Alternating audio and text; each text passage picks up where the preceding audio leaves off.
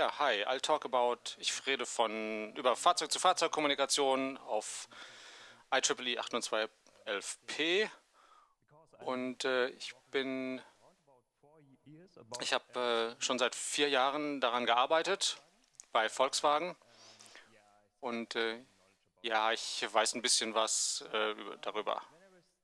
Und ähm, ich rede über, über dieses und ich muss eine kurze Motivation vielleicht geben am Anfang und, und erstmal einige grundlegende Konzepte über die Standards und dann äh, gucken wir mal einige Standards an und danach geht es um äh, Sicherheit, Security und am Schluss rede ich dann noch darüber, was die Herausforderungen sind und was wir in der Zukunft machen wollen.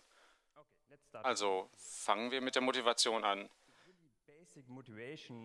Grundsätzlich ist die Motivation für Fahrzeug-zu-Fahrzeug-Kommunikation, dass wir äh, Unfälle verhindern wollen, Crashes verhindern wollen.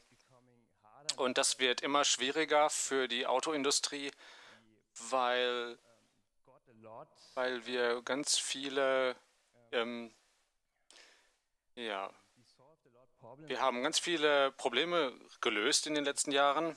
Und das Problem ist jetzt, dass es einige Ereignisse gibt, die wir nicht vorhersagen können. Und es ist sogar schwer, das mit Sensoren zu erkennen. Viele ähm, Rettungsfahrzeuge fahren mit Martinstorn rum und äh, wir haben einige wirklich wirklich hässliche Unfälle. Und mit normalen Sensoren ist es wirklich schwer, das zu erkennen, diese Rettungsfahrzeuge zu erkennen, denn die verhalten sich ganz seltsam. Die halten sich nicht an die Regeln, anders als normaler Verkehr. Und das ist äh, ähnlich wie zum Beispiel, äh, wenn einer bei Rot über eine Ampel fährt, das ist auch ganz schwer zu erkennen auch beim normalen Auto. Und wir glauben, wir können dieses Problem lösen durch Kommunikation zwischen den Autos. Vielleicht äh, habt ihr gehört von dieser Technologie gehört und ähm, diese, alle diese Gefährdungen haben etwas gemeinsam. Eins ist, dass die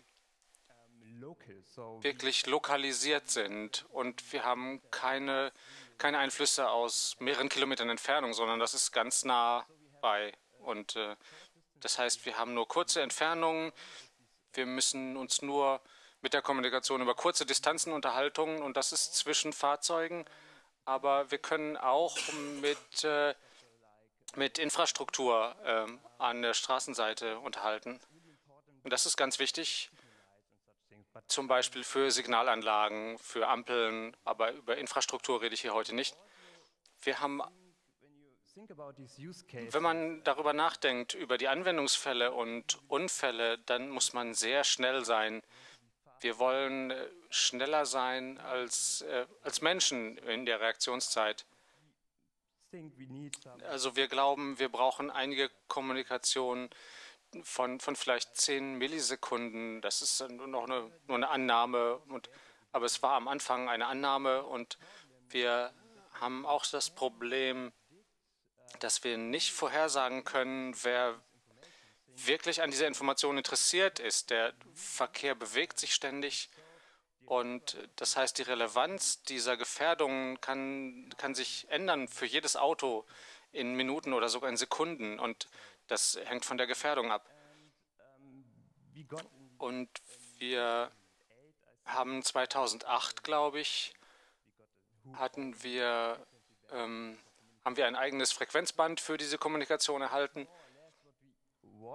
Und das, äh, was wir erreichen wollen, ist, ja, das ist das, was wir erreichen wollen mit dieser Kommunikation. Und ich äh, Bevor ich von den Standards spreche, gibt es einige wichtige Konzepte, die wichtig sind. Und das äh, macht es einfacher zu verstehen. Stellt euch vor, ihr habt einen Anwendungsfall wie hier in diesem Bild. Das heißt, wir haben eine Notbremsung. Und das blaue Auto bremst sehr heftig. Und dann hat das weiße Auto das Nicht-Sehen. Für das weiße Auto ist es sehr wichtig, wenn, wenn dieser LKW bremst, dann äh, ist der Abstand äh, zu klein. Wenn der Abstand dann zu klein ist, dann äh, gibt es einen Unfall. Und äh, das weiße Auto kann das blaue Auto nicht sehen und das ist das Problem. Und deswegen äh, das ganze Ereignis, äh, wie sage ich das, das ganze Ereignis hängt von allen Autos hier ab. Und der Lkw-Fahrer reagiert zu spät und dann hat auch am Ende das weiße Auto ein Problem und dann gibt es einen Massenunfall und das ist nicht schön. Und wenn man äh, Kommunikation hat, äh, dann äh, verkürzen sich diese Reaktionszeiten, weil wir diese Ereignisse entkoppeln können. Wenn das blaue Auto bremst und man kann eine Nachricht zu dem weißen Auto schicken, dann äh, verbessert sich die Reaktion des weißen Autos und das ist die ganz einfache Idee dahinter. Das funktioniert auch für einen anderen Anwendungsfall, äh, zum Beispiel bei einem Auto mit einer Panne. Und das ist ähnlich. Man hat ein Ereignis vor, von vorne und dann äh, ist ein Auto mit einer Panne und man will die nachfolgenden Fahrzeuge informieren. Das ist die ganz einfache Idee dahinter. Aber man muss etwas mehr darüber nachdenken, wie man diese Informationen kommuniziert. Das, die einfache Lösung ist, wenn das blaue Auto zum Beispiel bremst, dann äh, kann äh, eine Notbremsung erkennen und eine Nachricht schicken. Das weiße Auto kann dann reagieren. Das ist äh, ganz einfach. Und diese Art Kommunikation nennen wir eventbasierte Kommunikation. Aber es gibt eine andere Möglichkeit. Man kann, man kann die Erkennungsposition verändern, wenn man, aus, wenn man nur statische Informationen aus dem blauen Auto sendet, zum Beispiel wie, wie schnell es fährt, wie die Beschleunigung ist, wie es bremst oder wird gerade gebremst und so etwas. Und äh, man sendet das äh, häufig, dann kann man solche Ereignisse erkennen in dem empfangenen Auto. Und das verändert die Regeln ein wenig, aber das äh, werden wir später sehen.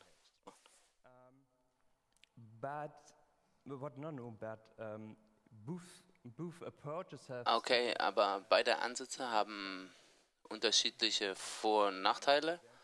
Ein Nachteil, den wir sehen können, ähm, äh, ein Nachteil der ähm, aufmerksamkeitsbasierten Okay, ähm, Entschuldigung, vergesst das. Also diese Statusmeldungen äh, äh aussendende Kommunikation nennen wir Stat äh, aufmerksamkeitsbasierte äh, Kommunikation und wenn man damit erkennen kann, dass da ein Fahrzeug vor ihr ist und das irgendwie stillsteht, aber du nicht weißt warum, ob das Auto vielleicht kaputt ist äh, oder es vielleicht ein Stau. Äh, für, die, für die Sicherheit äh, ist es okay, weil du weißt, da ist irgendwas und du um, reduzierst deine Geschwindigkeit, das reicht aus. Aber vielleicht äh, gibt es unterschiedliche Strategien für unterschiedliche äh, Ereignisse. Zum Beispiel wenn ein Fahrzeug stehen geblieben ist, äh, geblieben ist, dann kann man einfach vorbeifahren oder wenn es ein Stau ist, dann will man vielleicht die, von der Autobahn herunterfahren. Also das könnte ein Nachteil sein. Aber es gibt unterschiedliche Nachteile und Vorteile für jeden Typ. Ähm, wenn man die, Event die ereignisbasierte Kommunikation hat, dann eine, eine Nachricht, die, die, die das Ereignis beschreibt, ist, ist die Idee. Ähm, zum Beispiel eine Statusmeldung über, ein, ein, über das Fahrzeug. Das Problem bei den auf, ähm, bewusstseinsbasierten Kommunikationen ist, dass es kom komplexe Interpretationen dieser Nachrichten gibt. Und das ist nur ein, Ereignis, ein Indiz ist für, was könnte es vielleicht gewesen sein. In der ähm, ereignisbasierten Kommunikation kann man direkt beschreiben und interpretieren, was eigentlich das Problem gerade ist. Also ähm, Der andere Vorteil bei dem ereignisbasierten Kommunikation ist, dass es nur eine Nachricht braucht, die man erhalten muss. Bei der aufmerksamkeitsbasierten Methode braucht man viele Nachrichten, die man empfängt, bevor man versteht, was passiert und erkennen kann, was los ist. Aber die ereignisbasierten Kommunikationen haben das Problem, dass man, dass man wissen muss, welchen Benutzungsfall man gerade äh, braucht und äh, abdecken möchte mit der Technologie. Wenn man einen Anwendungsfall hat, ähm, der vielleicht in der Zukunft erst auftaucht, dann weiß man momentan noch nicht, äh, wie man darüber reden soll und dann kann man es auch nicht erkennen. Das wird ein Problem sein, wenn man ein Auto acht oder zehn Jahre in der Straße benutzt. Äh, für diese Zeit kann, kann das Fahrzeug solche neuen Ereignisse eben nicht erkennen. Das könnte ein kleines Problem sein. Aber wenn man die bewusstseinsbasierte Kommunikation hat, dann reden wir nicht über äh, Anwendungsfälle von Anfang an nicht. Und ähm, man kann neue Anwendungsfälle später entwickeln. Das wäre möglich. Okay. Ähm, also diese ersten Konzepte werden wir gleich für die Standards brauchen zum Verstehen. Das Problem mit den Standards ist, dass es nicht nur eins gibt. Wie immer. Ähm, wir haben drei Standards bisher. Es gibt einen in Amerika, einen in Europa und einen in Japan. Ähm, dann gibt es viele Aktivitäten im Bereich der Kommunikation zwischen Fahrzeugen in, in China und dann habe ich vergessen, in Südkorea gibt es auch äh, Aktivitäten in dieser Technologie. Ähm, ja, ich werde heute nur über Amerika und Europa sprechen, weil das das ist, was ich mehr oder weniger mache auf Arbeit.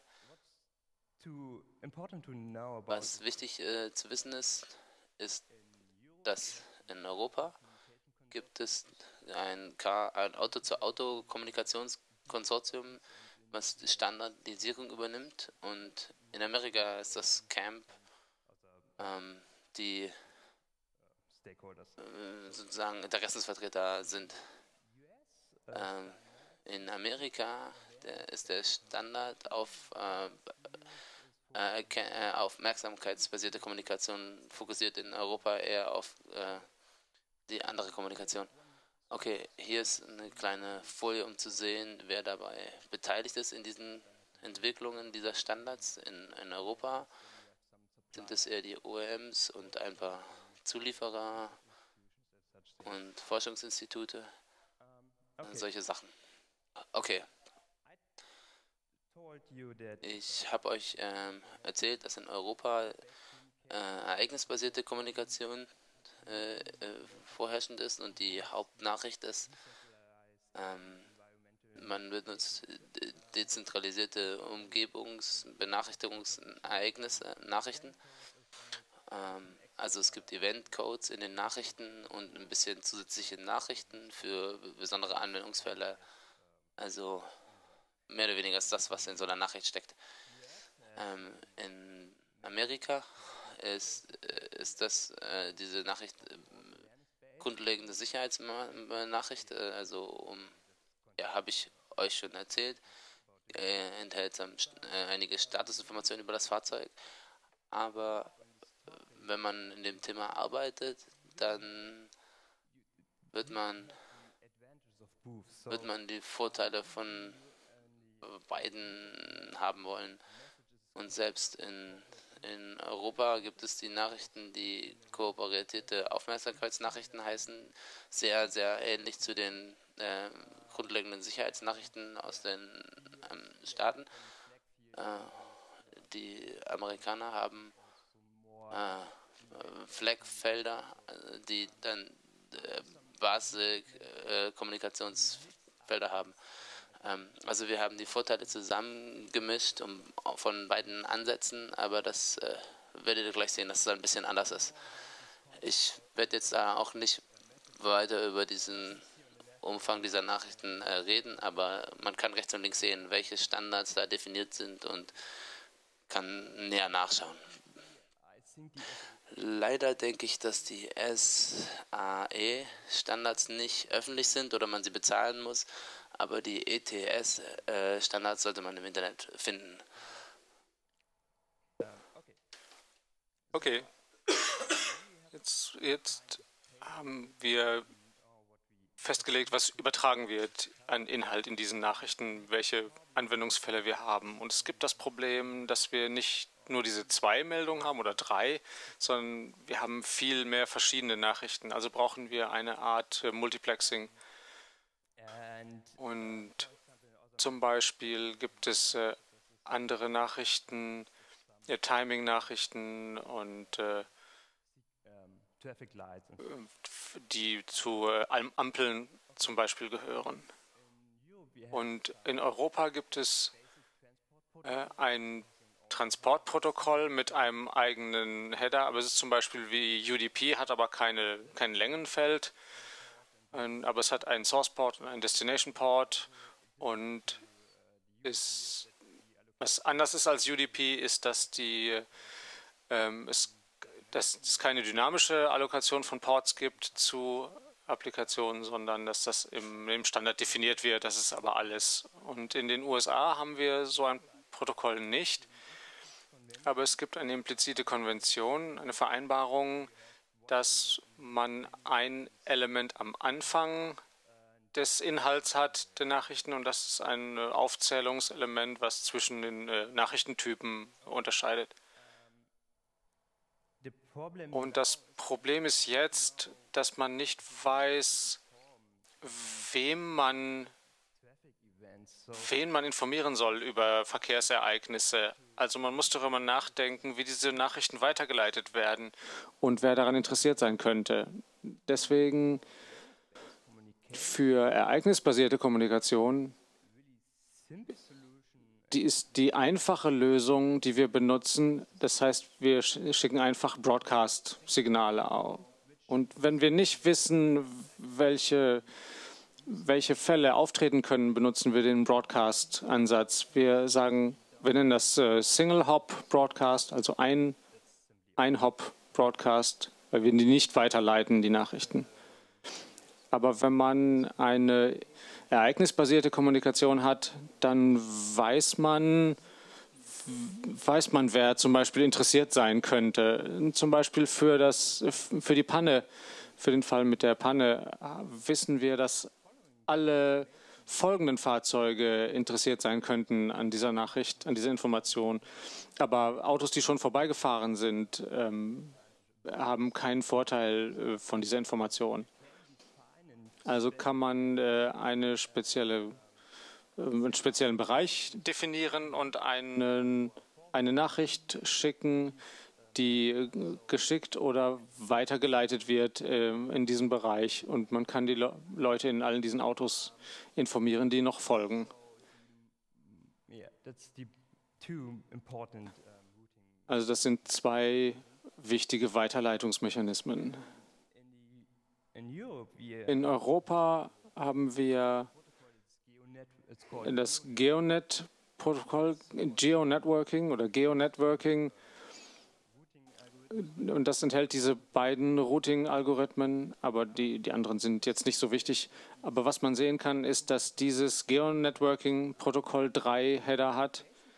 Der, den Base, der Basic-Header und der Common-Header haben äh, haben Kontrollinformationen über das Protokoll und die erweiterten Header haben zusätzliche Daten für die Algorithmen, die verwendet werden, um die Informationen zu senden. Die Trennung zwischen dem Basic Header und dem Common Header, darüber sprechen wir später nochmal. Für die USA, dort gibt es nur einen Header und der Header ist ganz einfach. Und äh, die, da geht es mehr um die ereignisbasierte Kommunikation und deswegen wurde vielleicht gedacht, man braucht nicht diese zusätzlichen Algorithmen und dieser Header ist äh, deswegen einfach nur ein Broadcast-Protokoll. Wie ich schon gesagt habe, ist der Titel, dass es auf 802.11p basiert ist und äh, beide Standards basieren äh, darauf. 802.11 äh, erfordert einen Header, ein Logical Link Control, eine logische Verbindungskontrolle und äh, ein Subnetz Access Protokoll. Das ist für Nachrichtenmultiplexing und äh, alle Nachrichtentypen haben einen festen Identifier und äh, man sieht es hier ganz oben. Die P-Erweiterung von 802.11 ist ein Flag und das ist das Punkt 11 OCB Activated. Und das bedeutet außerhalb von BSS auf einem Basic Service Set. Und das deaktiviert alle Dinge, die mit Access Points zu tun haben. Das heißt, es gibt kein Access Point Discovery, man hat keine Authentisierung, man hat keine, ähm, alle, alle diese Sachen, die mit ähm, Access Points zu tun haben, die gibt es nicht. Und es gibt äh, andere Sachen noch, die wir hier auch nicht brauchen. Und äh, wir benutzen auf jeden Fall 802.11 nur äh, für Broadcast. Ja, das ist schon fast alles über die Header. Aber ich möchte noch etwas über die Frequenzzuweisung sagen, die wir tatsächlich benutzen. Das ist das Frequenzband, das wir benutzen. Und das ist nicht fest äh, verbunden mit einer bestimmten Technologie. Das heißt, man kann beliebige Technologie in diesem Frequenzband verwenden, aber sie müssen äh, eine Verbindung haben zur ITS. Und USA und Europa ist hier etwas unterschiedlich in der Leistung, in der Sendeleistung, die benutzt werden kann, aber das ist auch schon alles. Und das ist im Wesentlichen der, das Konzept äh, der Standards. Und da muss man einfach in den Standard gucken. Wie benutzen wir Sicherheit in der Fahrzeug-zu-Fahrzeug-Kommunikation? Und wir haben einige Anforderungen, einige Sachen. Wir haben zum Teil mit Sicherheit und mit Unfällen, ähm, damit müssen wir uns beschäftigen und wir müssen die Sensoren authentifizieren. Und es sollte nicht einfach irgendjemand eine Nachricht senden können. Das äh, wäre viel zu gefährlich, unserer Meinung nach aber wir wollen auch die Privatsphäre des Fahrers schützen. Und wir haben einige Sachen, die wir nicht haben wollen, wie äh, Klartextübertragung. Aber leider weiß ich nicht so viel über die USA hier, also spreche ich hier nur, nur von den europäischen Standards.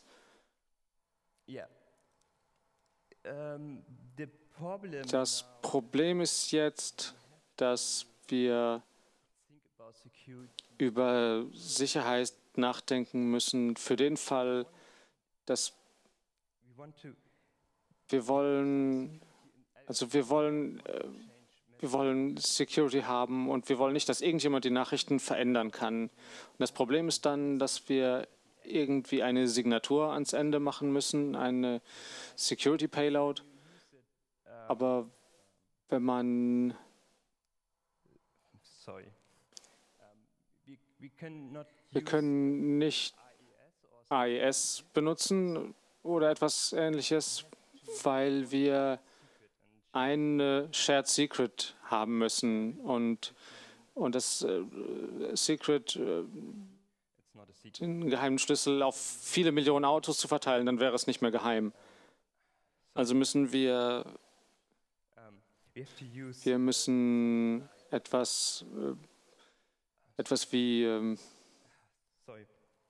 ja, Entschuldigung, wir müssen etwas wie AES benutzen oder etwas wie elliptische Kurven oder so etwas.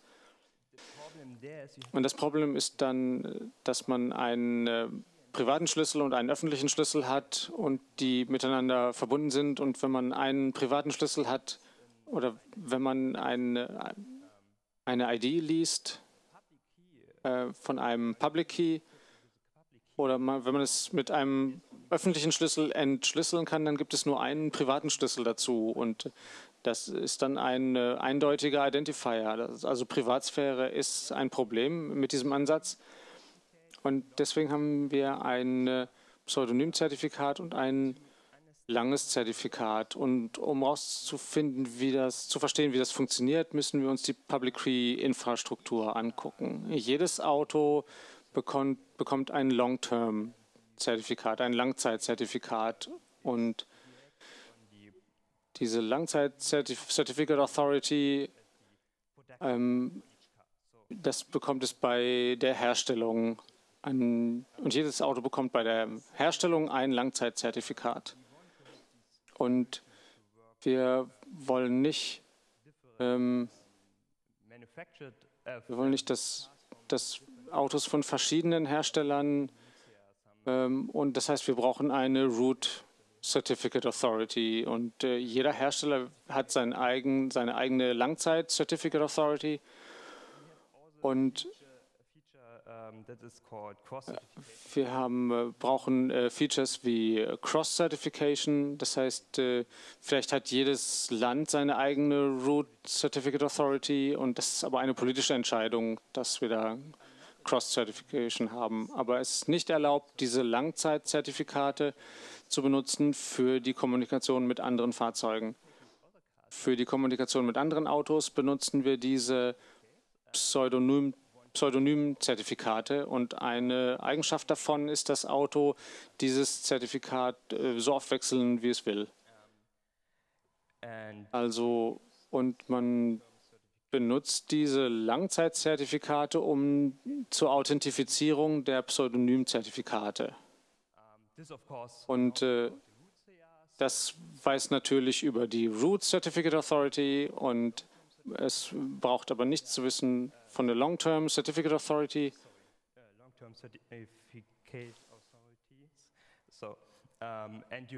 Und man kann ganz viele Pseudonymzertifikate herstellen. Und man hat eine Art Privatsphäre, weil man ganz viele Pseudonyme hat. Ja, und wie viele Zertifikate hat man? Ähm, die Sache ist, dass man mehr als 20 Parallel, äh, parallele Zertifikate haben kann für ungefähr eine Woche. Und es gibt einige Regeln, wann man das Zertifikat ändern muss. Ähm, zum Beispiel, wenn man den Motor startet und ungefähr alle 10 bis 30 Minuten muss man sie ändern. Aber alles das wird gerade auch noch diskutiert. Also das ist noch nicht standardisiert. Und ähm, äh, für das äh, Auto äh, Autokommunikationskonsortium wird darüber gesprochen. Es, ist noch, es steht noch nicht fest. Ähm, was bedeutet das, wenn man sein Pseudonym äh, wechselt? Wie man an der rechten Seite sehen kann, äh, die Sicherheit ist nicht vertikal, sondern eine horizontale Schicht in unserem Stack, weil man jeden Identifier, den man hat, äh, ändern muss. Ähm, ähm, also auch die MAC-Adresse und äh, die Identifikatoren auch müssen auch für die Anwendung verändert werden. Also ich würde persönlich auch sagen, dass die, die Sicherheit eher so aussehen sollte in dem Stack, auch in den Anwendungsfall hineinreicht, Anwendungsschicht hineinreicht. Wir haben aber noch ein anderes Problem mit dem Pseudo-Identifizieren. Identifikation. Wenn man über eventbasierte Kommunikation nachdenkt, dann ähm, gibt es äh, äh, Fahrzeugdynamik, um äh, Dimensionen, Fahrzeugdimensionen, ähm, die man bedenken muss. Es gibt ein kleines Problem damit. Wenn man einen Volkswagen Golf hat oder einen BMW oder sowas, dann ist alles okay. Aber wenn man einen Lamborghini fährt, dann hat man eine sehr herausragende Fahrzeugdimension, sehr flach, sehr lang. Wenn man mit einem Lamborghini herumfährt, dann hat man halt das Problem, dass äh, die Identifikatoren sind, sind halt ein bisschen anders und alle anderen Autos sehen nicht aus wie ein Lamborghini und das muss man bedenken. Und ähm, deswegen äh, deswegen geht es da um plus minus 10 cm bei diesen Werten. Aber man muss sich darüber einen Kopf machen. und das bedenken. Okay. Die Langzeitzertifikate sind für mehrere Jahre gültig, aber äh, es, äh, auch die müssen irgendwann ausgetauscht werden. Das ist das Gleiche mit, mit den Root-Zertifikaten. Aber wie, man, wie ihr sehen könnt, wir benutzen elliptische Kurven und über diese Standards haben wir lange gesprochen und äh, wir benutzen dann tatsächlich diese Kurven in den Standards, aber äh, auch da gibt es noch Diskussionen, zum Beispiel im Bundesamt für Sicherheit und Informationstechnik in Deutschland und die wollen das gerne verändern. Und eine Veränderung, die sie haben wollen, ist, sie, äh, die wollen äh, andere Kurven haben. Für uns ist es aber nicht wichtig. Sie wollen die Brain Pools haben. Wir, wir, für uns ist es egal, aber ähm, die ECDSA 256 Kurven sind das für uns am einfachsten. Dafür funktioniert unsere Hardware gerade, aber da, wir sind nicht davon abhängig, welche Kurven wir benutzen. Wir benutzen die Elliptic Curves für ähm, äh, die Zertifikate und die wollen das äh, ändern, aber äh, wir brauchen das nur für die Kommunikation zwischen äh, Fahrzeugen.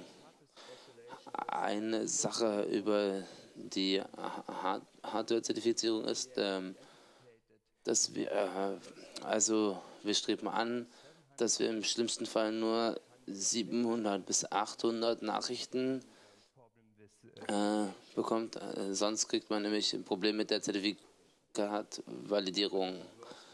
Aber das ist äh, schlechteste Fall Abschätzung, also Worst-Case-Abschätzung. Am Anfang wird das nicht das Problem sein. Okay. Okay, was äh, weiter? Ja, wir müssen darüber nachdenken, wir müssen über viele Sachen nachdenken. Zum aktuellen Zeitpunkt haben wir Kommunikation und Datenaustausch äh, nachgedacht, aber das Problem ist, äh, die, die Daten müssen interpretiert werden. Wir müssen wirklich seltsame Situationen definieren, Sachen, die man am Anfang nicht erwarten würde.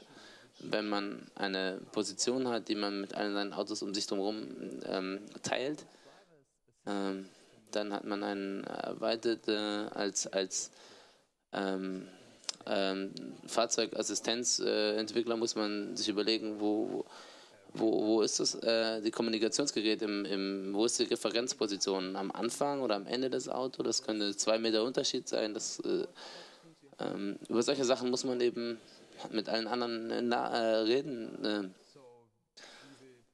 ähm, wir sollten das also auch standardisieren und die auslösende Kondition sollte, dass äh, äh, es nicht so einfach zu definieren, wann man solche Nachrichten losschickt. In den Vereinigten Staaten haben wir Anforderungen an minimale Performance dafür. Und dann gibt es natürlich auch noch Herausforderungen. Wenn wir über Sicherheit sprechen, dann wollen wir wissen, wie das System funktioniert an den Systemgrenzen. Also was passiert, wenn der Kanal voll ist, zum Beispiel, wenn man einfach keine neuen Nachrichten mehr schicken kann? Oder wie weit kann man kommunizieren? Welchen Einfluss hat äh, hat, hat, das, hat die Umgebung des Fahrzeugs, welche Einwirkung hat zum Beispiel eine Brücke auf diese Kommunikationstechnologie. Und wir müssen auch überlegen, wie das ist mit äh, Zollbrücken zum Beispiel. Also, Außerdem möchte ich ähm, eine kleine Einführung die, die, der Technischen Universität in Prag äh, äh, reden. Die hat einen Patch für den Linux-Kernel gemacht, äh, für den IEEE äh, 802.11 Standard, äh, Standard. Das ist noch nicht fertig, aber äh, ich hoffe, dass das nächstes Jahr, Anfang nächstes Jahr fertig wird. Äh, ihr werdet es auf dieser Adresse sehen und finden können. Wenn ihr interessiert seid daran, dann äh, könnt ihr sie auf GitHub sehen.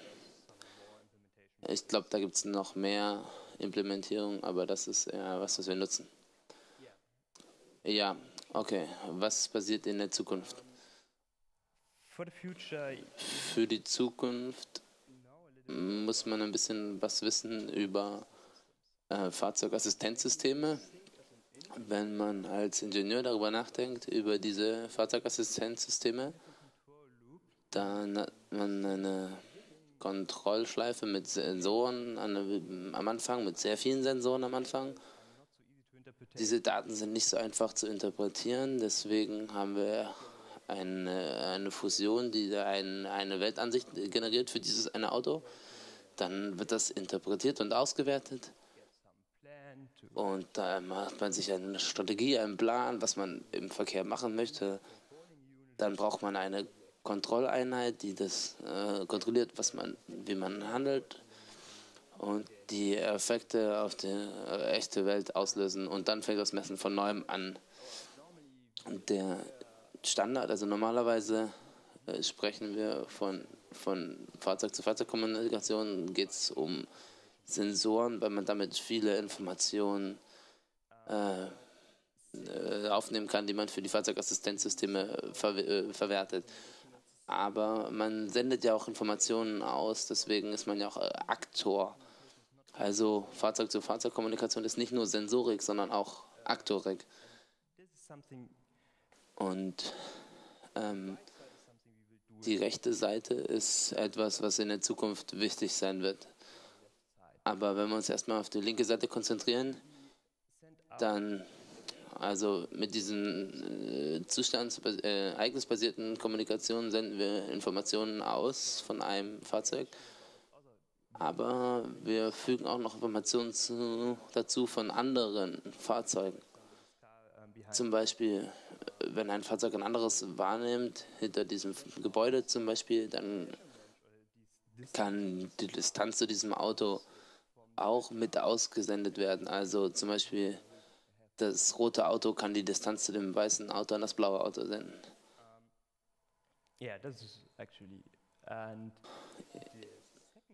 Die zweite Idee ist, dass man, dass wir äh, die, äh, die geplante äh, Tra Trajectories ähm, äh, eines, eines Fahrzeugs ähm, aussenden kann. Dann man fünf bis zehn Sekunden Zeit, das auszusenden, dass äh, die Annahmen, wie, wie sich das, äh, wie die Umgebung sich äh, entwickeln wird in den nächsten paar Sekunden, das könnte eine sehr äh, nette Information sein, um, um Manöver auf der Straße zu planen.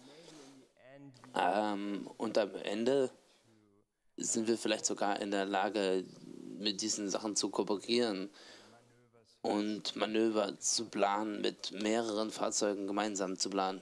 Das äh, sind so die Ideen, die wir für die Zukunft haben, aber das wird, äh, ist gerade erst Konzeptphase dieser Ideen.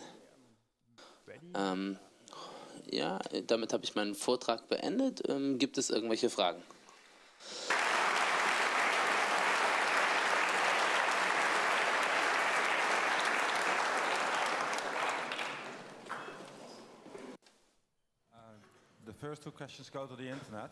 Die beiden ersten Fragen aus dem Internet. Ja, danke. Äh, anstatt einzelne Ereignisse aussenden, warum nicht einfach den, einen Standardsatz von Sensordaten senden, sodass das Auto einfach ausrechnen kann, was relevant ist? Vielleicht wäre das einfach äh, zukunftssicherer, wenn es um äh, automatisches Fahren geht. Ja, das stimmt voll und ganz. Es ist eher diese aufmerksamkeitsbasierte äh, Kommunikation. Das ist was, was wir machen wollen, aber wir werden nicht die normalen Sensordaten aussenden, sondern wir werden eher Distanzen zwischen Fahrzeugen aussenden. Aber ja, das ist geplant. So, next question from the Internet. Die zweite Frage aus dem Internet. Ja, danke. Wie viel, wie effektiv würde so ein System sein, wenn das äh, das private Root Certificate Authority äh, äh, öffentlich würde. Ja, das ist ein Problem tatsächlich, das wir noch äh, bedenken müssen. Aber ihr habt ja schon gesehen, dass es dieses Cross-Zertifizierung gibt und wenn es Exploit ist, dann kann man vielleicht das Problem lösen, wenn man annimmt, dass man, dass man mit unterschiedlichen Root-Zertifikaten ein Langzeit-Zertifikat unterschreibt, dann ist es nicht ganz so schlimm, wenn ein Root-Zertifikat, äh, eine Root-Zertifikat Authority nicht mehr vertrauenswürdig ist. Dann benutzt man einfach eine zweite Root-CA. Das könnte vielleicht eine Lösung sein. Ja, die zweite Frage hier drüben. Ja, vielen Dank für den Vortrag. Ich habe gesehen, dass, äh, dass es auch ein Monitoring gibt. Äh, dass ihr auch beobachtet, was andere machen in der Gegend, in dem Bereich. Und ich, äh, erstmal wollte ich sagen, dass äh, es gibt eine, ähm, eine Anstrengung von Intel und BMW und einer britischen Universität, die machen etwas Vergleichbares, aber natürlich auch in Konkurrenz. Und ja, da will ich jetzt nicht zu sehr auf die Einzelheiten eingehen, aber ich wollte das äh, äh einfach mal zur Kenntnis bringen. Und das Zweite ist, was ist mit der Verfügbarkeit? Und Volkswagen ist, äh, äh steht sehr hinter dem Car-to-Car-Konsortium, aber andere äh, Autohersteller gehen äh, eher in Richtung einer serverbasierten Kommunikation. Das heißt, die Autos reden nicht direkt miteinander, sondern, sondern nur über Backend-Server. Und äh, ja, ob, weißt du was darüber? Ja, das stimmt. Ähm, es gibt unterschiedliche Möglichkeiten, das Problem zu lösen. Am Ende wird man irgendeine Art Fahrzeug-zu-Fahrzeug-Kommunikation haben, aber es ist nicht ganz klar, wie man das Problem am Ende löst. Also man könnte Wi-Fi benutzen, wie ich es vorgestellt habe, oder Backend-Kommunikation äh, benutzen. Das Problem dabei ist, dass man äh, äh, Abdeckung des, des, des äh, Mobilfunkgerätes äh, braucht. Also wenn man dann in einem Tunnel ist, dann hat man plötzlich keinen Empfang mehr und dann kann man keine Kommunikation zwischen Fahrzeugen mehr haben. Wi-Fi hat da immer noch Empfang. Und außerdem gibt es wahrscheinlich Latenzprobleme geben. Das wird zwar äh, weniger und weniger werden, weil die Technologie besser wird, aber äh, es gibt da noch andere Probleme mit äh, Backend-basierten Kommunikation. Okay, nächste Frage. Ich habe eine Frage über das Konzept, zu dem Konzept. Wenn ich ein Auto kaufe, dann bekomme ich ein Gerät, das äh, Nachrichten sendet. Und äh, auch wenn die signiert sind und so, aber wie halte ich Leute davon ab, einfach äh, Denial-of-Service-Attacks zu machen? Ähm, das kann man nicht machen.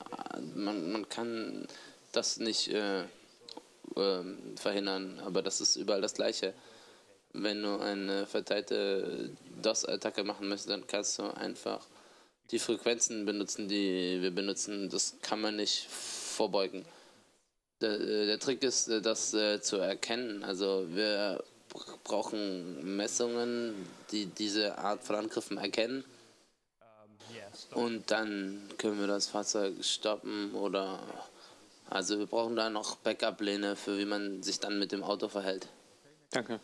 Nächste Frage. Hi, äh, danke. Es war sehr interessant, ein sehr interessanter Überblick, denke ich. Ich habe eine Frage über die äh, Pseudonym-Zertifikate. Ich, äh, mein Verständnis ist, dass das äh, die, äh, die unmittelbare Gefahr äh, behebt, dass man äh, Bewegungsprofile von dem Auto machen kann oder eine Bewegungsgeschichte machen kann in der unmittelbaren Umgebung. Aber man kann immer noch eine vollständige Bewegungsgeschichte machen von einem Auto, indem man einfach nur alle Daten äh, empfängt, weil die Root CA natürlich welche äh, Pseudonymzertifikate zu welchem Auto gehören oder äh, gibt es irgendwie Blindsignaturen hier? Ähm, und ich glaube, es gibt noch ein anderes Problem. Wie, wie behandelt ihr Pseudonymzertifikat-Umschaltung, äh, den, den, den Wechsel? Denn wenn man äh, Daten bekommt von Zertifikat 1 und dann bekommt man plötzlich von Zertifikat 2 Daten, dann äh, weiß man, dass Zertifikat 2 jetzt Zertifikat 2, Zertifikat 1 jetzt Zertifikat 2 ist. Ja, das Ja, das zweite ist ein Problem für die Anwendung, für die Fahrzeugassistenzsysteme. Ähm, man kann das überwinden, wenn man weiß, dass ein Fahrzeug nicht springen kann. Ja, man, man, man weiß genau, dass, dass das dasselbe Fahrzeug ist. Das heißt, man verliert einfach diese, diese Privatsphären. Äh, äh ja, man kann diesen Identifizierer dann nicht mehr benutzen. Das, das stimmt, das ist genau warum. Aber das Auto, das springt nicht einfach rum. Also das, äh, das Auto fährt ja geradeaus weiter. Und wenn man sieht, dass ein Pseudonym verschwindet und ein neues an genau demselben Punkt äh, auftritt und dieselbe Bewegung hat, dann weiß man von der Physik, dass es das gleiche Auto ja, sein wird. Ja, das ist genau das, was ich sagen wollte. Ja. Warum äh, macht man das dann überhaupt, wenn man trotzdem noch äh, das Fahrzeug vollständig verfolgen kann? Ja, das ist äh, die äh, erste Frage. Ich habe mich auf die zweite Frage bezogen. Die erste Frage ist, das, das Problem ist jetzt, ähm, ja, das ist möglich, aber nicht die Root Certificate Authority weiß das, die, die signiert nur die äh, ATCAs und die Pseudonym CTAs, aber ähm, das Problem ist, dass andere Technologien auch für den gleichen äh, Zweck benutzt werden können. Also man hat eine, ID man, auf dem Nummernschild, wenn man rumfährt, wenn man eine Kamera benutzt, dann kann man das Ja, aber ich kann auch mein Nummernschild einfach machen. Ich kann auch mein Nummernschild wechseln. Aber selbst wenn du das Nummernschild änderst,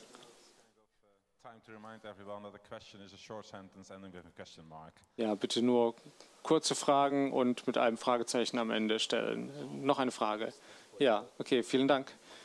Meine Frage ist, wer, wer betreibt die Root Certificate Authorities? Machen das die Länder oder eine Firma oder, äh, oder eine unabhängige Organisation, wie zum Beispiel das K2K-Konsortium? Es kommt darauf an. ähm, das ist eine politische Entscheidung am Ende. Ich denke, für Infrastruktur in Deutschland wird das äh, bei der, von der Regierung oder einer Institution des, der Regierung äh, reguliert werden. Das ist eine politische Entscheidung, die wollen das so. Aber eigentlich kann das am Ende jeder machen und dann kann man über die Root, Root CA Cross-Signing arbeiten. Das ist eine politische Entscheidung, da kann ich nicht viel zu sagen. Ja, die beiden nächsten Fragen aus dem Internet. Nichts mehr aus dem Internet? Okay, gut, dann hier.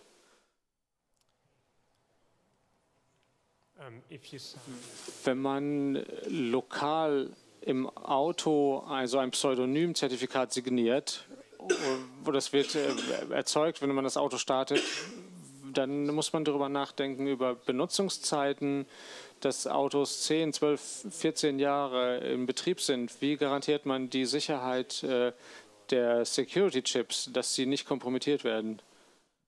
Äh, das ist schwer, aber wir werden diese Zertifikate austauschen in diesen Chips.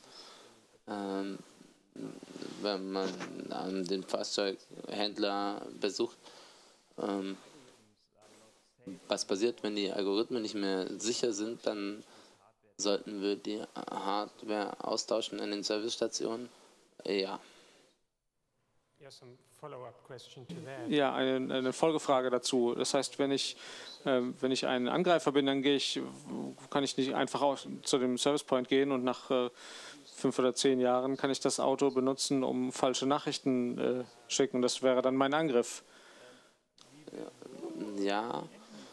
Äh, wir arbeiten an Sicherheitsmessungen innerhalb des Autos, sodass es nicht so einfach ist, äh, Teile auszutauschen und äh, neue Daten einfach ähm, einzufügen. Momentan ist das möglich, aber da wird es Messungen geben, die diese Attacken verhindern. Noch eine Frage von hier? Danke. Okay. Wie, ich, ich verstehe, dass ich, ich, ihr benutzt die äh, Privatschlüssel und öffentlichen Schlüssel äh, Authentifizierung. Das heißt, äh, man erzeugt 20 äh, Pseudonym-Zertifikate äh, pro Woche und, und wie, äh, wie transferiert man die öffentlichen Schlüssel zu den Autos? Ah, ja, das habe ich vergessen zu erkennen, dass die Security Headers, ähm, Entschuldigung, ich bin ein bisschen durcheinander. Ähm, die, die Zertifikate werden mit jeder äh, Nachricht verbreitet, im schlimmsten Fall. Wir haben Messungen, um das zu reduzieren, aber äh, wenn man die Nachricht austauscht, dann fügt man hinten dran immer sein Zertifikat dran. Das heißt, das heißt ich, ich signiere mein eigenes. Äh, Entschuldigung. Äh, diese Folie. Oh. So, um, you don't sign your Nein, man unterschreibt nicht sein Pseudonymzertifikat. Das kriegt man von dem Pseudonymzertifikat Authority. Ja, aber wenn ich meine Nachrichten äh, verschicke und mein, meinen Schlüssel äh, mein, und den, den öffentlichen Schlüssel mit, mitsende, dann, dann kann ich nichts senden.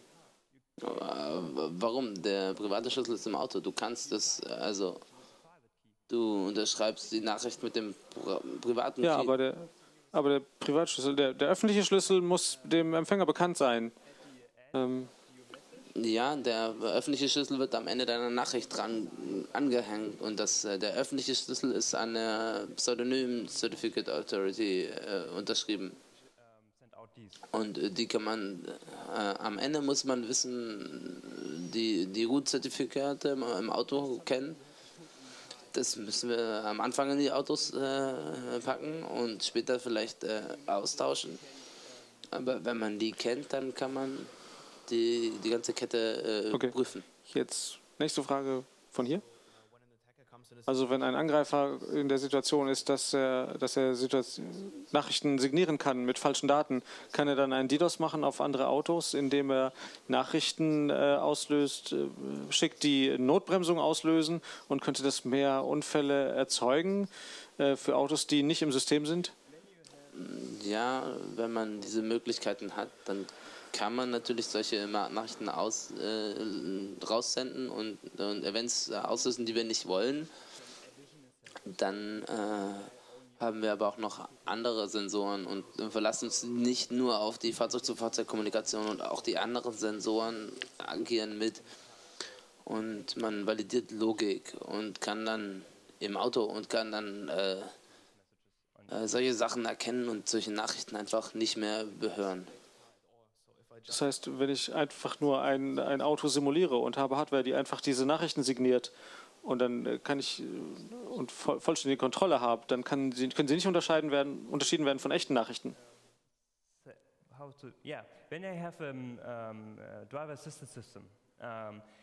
Wenn ich ein Fahrzeugassistenzsystem habe, dann äh, verlasse ich mich nicht nur auf Fahrzeug-zu-Fahrzeug-Kommunikation. Das macht man nicht. Das ist dasselbe wie mit Radar.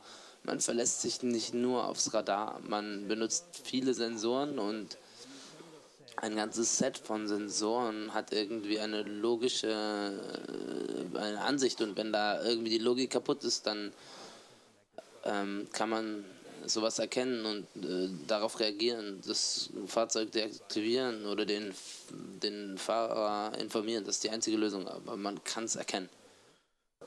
Noch eine Frage. Kannst du noch mal sagen, was die mittlere Nachricht, der mittlere Länge der Nachrichten ist und welchem Format die sind und welche Länge hat die hat das Zertifikat? Das heißt, kann man äh, will, will das, das WEF-Format nehmen aus den US oder was ein eigenes Format?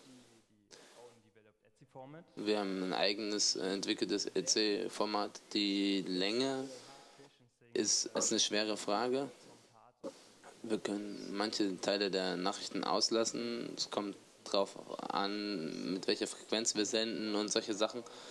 Aber so ungefähr 270, äh, vielleicht 300 Byte für, für Cam. Für Denim ist es ein bisschen größer, aber das ist echt schwer, das kommt auf den an, Nutzerfall an. Und die, das Verhältnis äh, zwischen äh, Klartext und, äh, und Sicherheitsinformationen, das heißt Zertifikatslänge und, äh, 50-50. Ähm, äh, Sicherheit macht hier wirklich einen großen Teil aus. Das ist das, äh, der Grund, warum wir Elliptic Curve benutzen, um kleinere Zertifikate zu haben. Nächste Frage hier. Vielen Dank. Eine Frage ist, ist es geplant, dass die Zertifikate ähm, revoked werden können und dass die Revocation Information, wie bekommt die in die Autos? Entschuldigung, kannst du die Frage bitte wiederholen? Wie kommt die Revocation Information in die Autos? Gibt es eine Möglichkeit von äh, CRLs oder CSP-Dienste? Zurückrufen von Zertifikaten ist noch nicht definiert bis jetzt. Das Problem ist, dass man die, das Zurückrufen nicht in die Autos bringen muss für die Public Key-Infrastruktur, weil man eine Woche mit dem Problem lebt, dann braucht man neue Zertifikate für die Pseudonym-Zertifikate. Also braucht man die, die Zurückrufung momentan nur für die Pseudonym-Zertifikate. Das Problem ist, wenn man nicht weiß, welche Zertifikate benutzt werden, weil man keinen Identifier hat, dann muss man das erkennen und das ist das größere Problem. Soweit ich sehen kann, ähm, ist der typische, die typische Anwendung von Auto-zu-Auto-Kommunikation sind Fälle, in denen die Sensoren äh, nicht mehr helfen, weil man das Auto äh, vor dem langen Fahrzeug nicht mehr sieht. Wir versuchen das äh, zu ändern mit einer der, Aspekte der Zukunft. Also wenn du ein Auto vor dir hast, was du sehen kannst und seine Aktionen siehst, dann kannst du diese Messungen machen und auch auswerten, auch die Messungen von anderen Autos. Und das führt zu Situationen, wo man alle Fahrzeuge um sich nimmt, um, um eine logische Datenvalidierung zu betreiben, um die Daten äh, zu validieren. Das wird passieren.